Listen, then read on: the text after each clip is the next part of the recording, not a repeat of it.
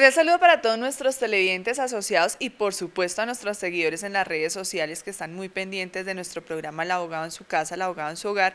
Y antes de dar inicio al tema hoy con el doctor Fabio Soler tenemos una pregunta de temas anteriores que hemos hablado y es sobre la interdicción. Dice textualmente, Hola doctor, además de la historia clínica y el certificado de psiquiatra, ¿qué otros documentos necesito para iniciar el proceso de interdicción? El juez, ¿cómo determina quién será el curador? Puesto que son muchos los hijos que quieren serlo. Muy bien, muy buenos días a nuestra querida teleaudiencia y nuevamente mil gracias por permitirnos entrar a su hogar a explicar algunos temas de interés jurídico elementales, como quiera, como quiera que no son abogados quienes nos escuchan, o también los abogados, pero entenderán que esta es una explicación para legos en el derecho. Y para responder a nuestra teleaudiente, decía yo que eh, la historia clínica es la que viene adelantando la, la EPS por las distintas razones que el paciente presente patologías.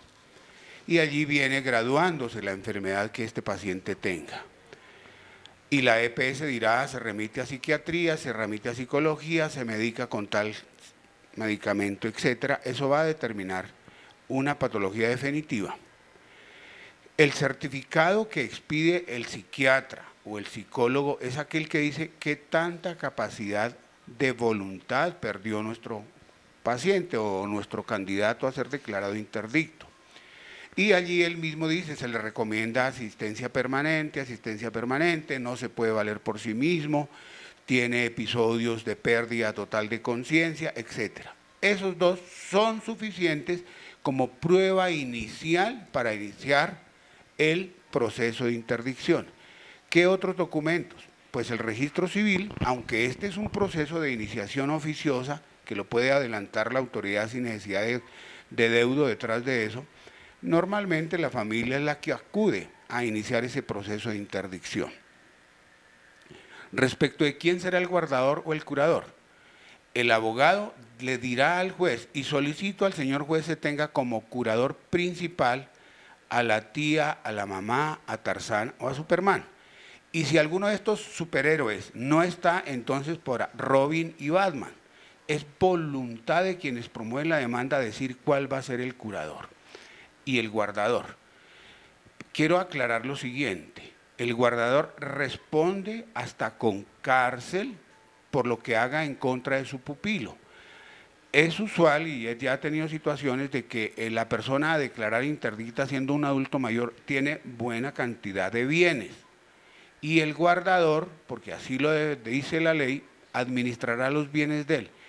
Si no los administra con la responsabilidad que la ley ordena, no es si quiere, ordena, rindiendo cuentas periódicamente al juzgado, podría ser removido de su cargo y podría responder pecuniaria y penalmente por aquellas dilapidaciones de bienes que sin ser suyos haya efectuado. Doctor, pero si son muchos los hijos que quieren tener esta responsabilidad de ser el curador, ¿cómo se define cuál de ellos eh, lo pues, es? Es exótica la, situación que sean muchos los que quieren porque la ley habla de uno y un suplente. Pero a ver, que es la esposa y la esposa fallece, pues su suplente. Y si es el suplente, entonces el sobrino, el otro sobrino, el otro sobrino, pues es decir, casi que extinción de toda la familia para que quede el último y ejerza la guarda.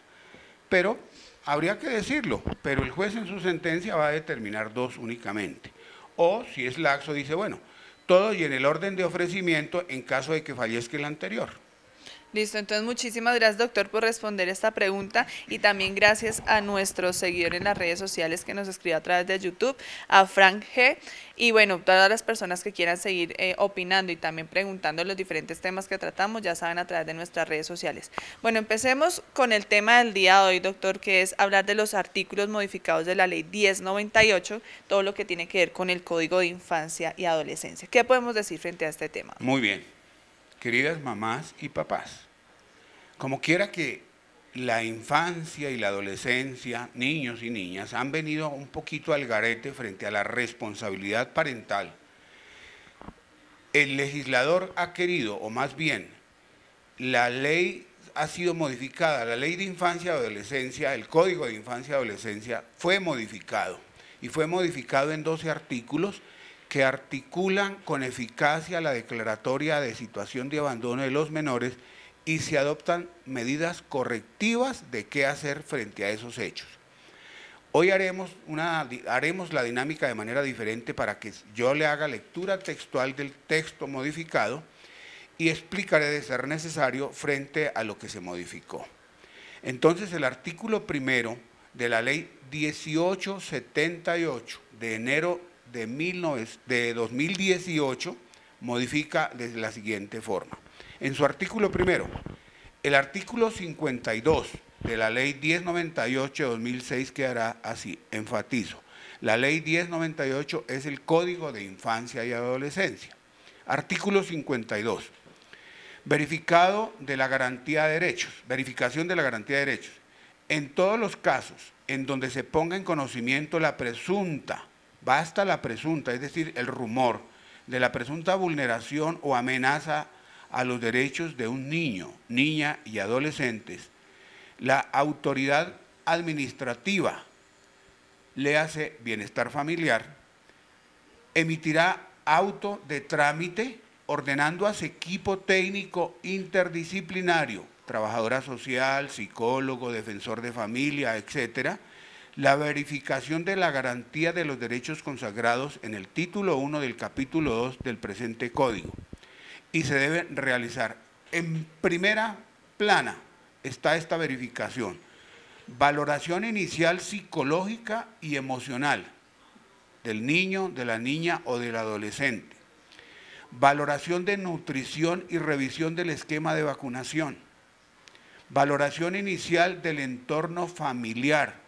Eso es importante y por esa la cantidad de consultas que se llevaron mi niño, que se llevaron el niño, que se llevaron los tres y me dijeron, es porque verificado esto, encontraron que había riesgo innecesario en la integridad física del procreado y por eso bienestar familiar interviene. Em, redes vinculares o identificación de los elementos protectores y de riesgo para la garantía de los derechos. Verificación de la inscripción en el registro civil de nacimiento. He tenido casos en que niños de 8 años no tienen registro civil. Eso ya da suficientes motivos para que se declare en situación de riesgo. Verificación a la vinculación del sistema educativo el niño trabajador de 6 añitos, de 8 añitos, de 11 añitos y no tiene primero de primaria. Eso se acabó, papás, se acabó, mamás. El chino estudia o bienestar familiar interviene. Parágrafo primero. De las anteriores actuaciones, los profesionales del equipo interdisciplinario, ¿de dónde? De bienestar familiar, emitirán los informes que, que incorporarán como prueba para definir el trámite a seguir. ¿Y cuál sería el trámite a seguir? Que ese papá y mamá o que ese papá y sola mamá, cualquiera de los dos que tenga la mm, custodia de este menor, no ofrece las garantías, pues se lo retiran, se lo llevan y viene un estudio. ¿Será que se puede declarar en situación de adoptabilidad? ¿O será que estos papás ahora sí van a responder por este menor o tiene familiares colaterales que le permitirán al niño un desarrollo integral? Esa es la valoración que hace el equipo interdisciplinario. Parágrafo 2. La verificación de los derechos deberá realizarse de manera inmediata, excepto cuando el niño, la niña o el adolescente no se encuentre ante la autoridad administrativa competente. ¿Qué es lo que aquí ocurre y qué fue lo que el legislador quiso curar? El papá vivía en Zipaquirá con, con su hogar y decide romper ese hogar y se va con uno o con dos de sus menores para Punta Gallinas, en La Guajira. Entonces el niño no está aquí y se tiene noticia que porque ese niño ya no está allá y se inicia el proceso administrativo. Eso es lo que han dicho. Evento en el cual la verificación de los derechos se realizará en el menor tiempo posible, el cual no podrá exceder de 10 días siguientes al conocimiento de la presunta vulneración o amenaza por parte de la autoridad administrativa. Entonces, ¿qué ocurriría aquí? Bienestar familiar está en todo el territorio nacional. Entonces, como el equipo interdisciplinario habrá llegado a lo que era el hogar del menor, se documentará, averiguará qué fue, cuál fue la suerte de ese niño y emitirá sus órdenes administrativas al bienestar, bienestar familiar de la familia y ubicarán al padre y al menor y constatarán de sus vulneraciones que se han denunciado. Y allí se tomarán las medidas que sean necesarias. Parágrafo 3. Si dentro de la verificación de la garantía de derechos se determina que el asunto es susceptible de conciliación, dígase, venga, hablen con el papá, papá, hable con la mamá del niño y pónganse de acuerdo en forma de educarlo, colegio donde va a estar, el alimento, el vestuario, la salud. Si eso se concilia, pues el riesgo desaparece y termina la actuación administrativa. De lo contrario, se tramita conforme a la ley vigente en esta materia.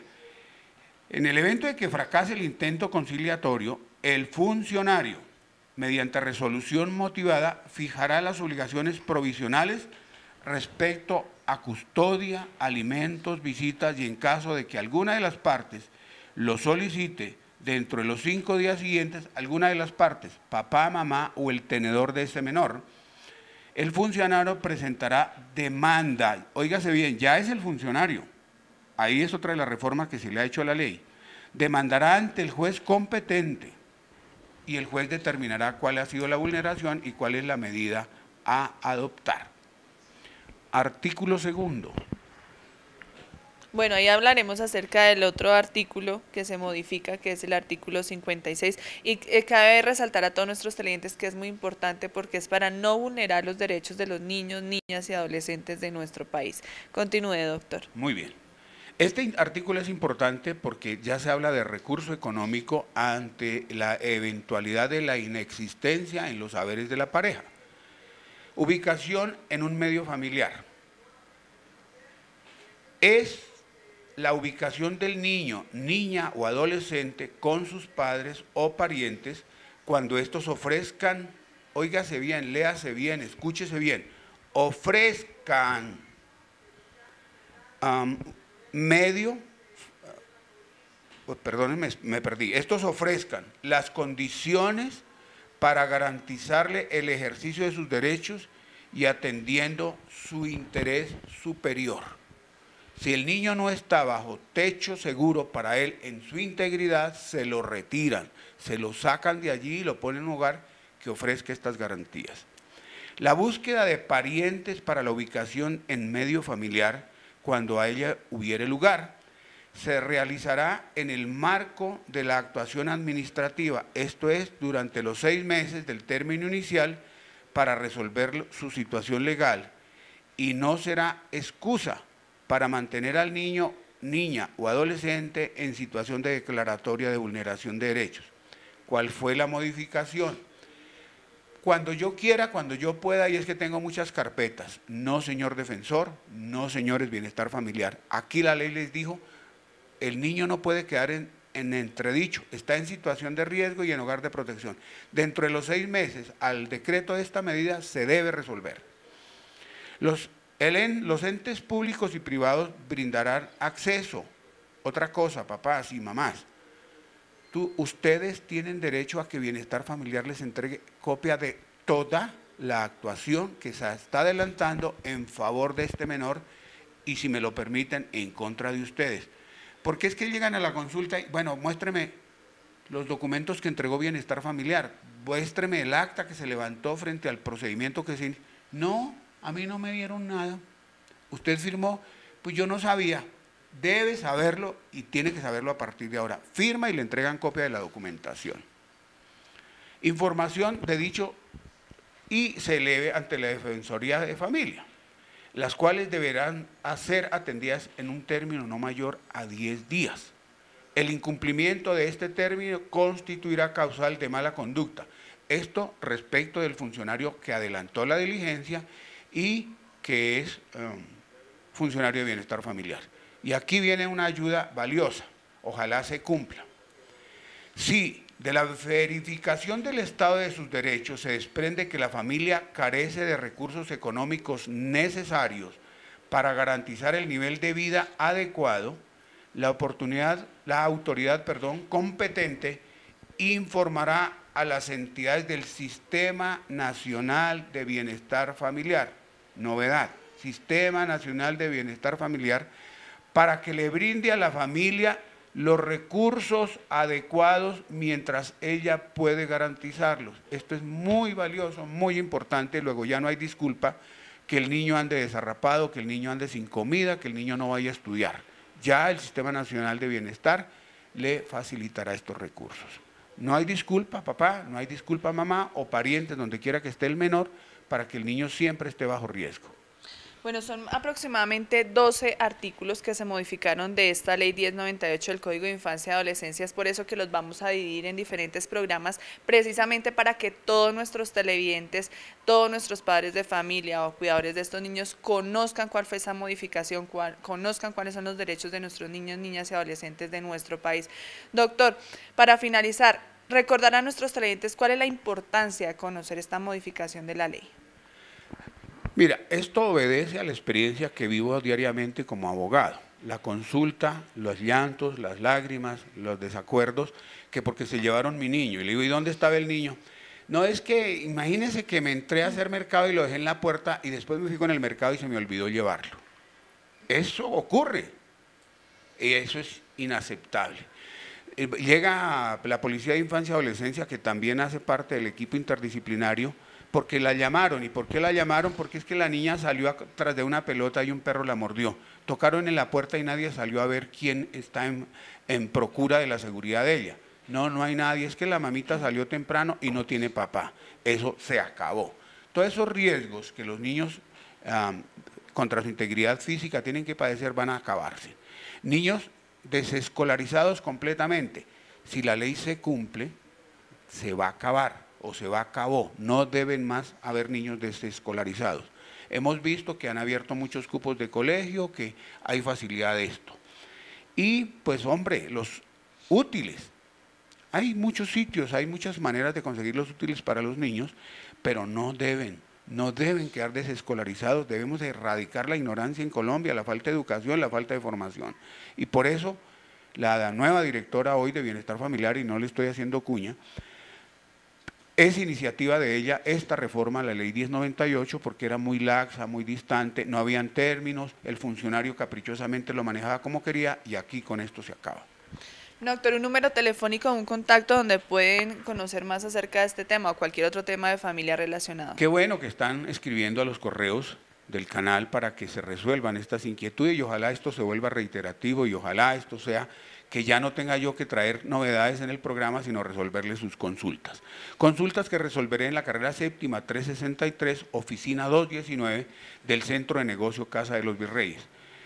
O me llaman al 319-275-2401 y resolveré sus consultas. O como en esta oportunidad, a mi correo Fabio Soler Defensor gmail.com y estaremos dando respuesta de manera anónima a la inquietud que se nos plantee. Bueno, ya saben todos nuestros televidentes, estaremos en diferentes programas hablando acerca de la modificación de la ley 1098 y de diferentes artículos, son cerca de 12 artículos, es por eso que vamos a dividirlo en varios programas para que ustedes los conozcan, para que el doctor Fabio Soler los desglose muy bien y nos los explique muy bien. Continúen con más información y más programación en Aprecus Canal 5.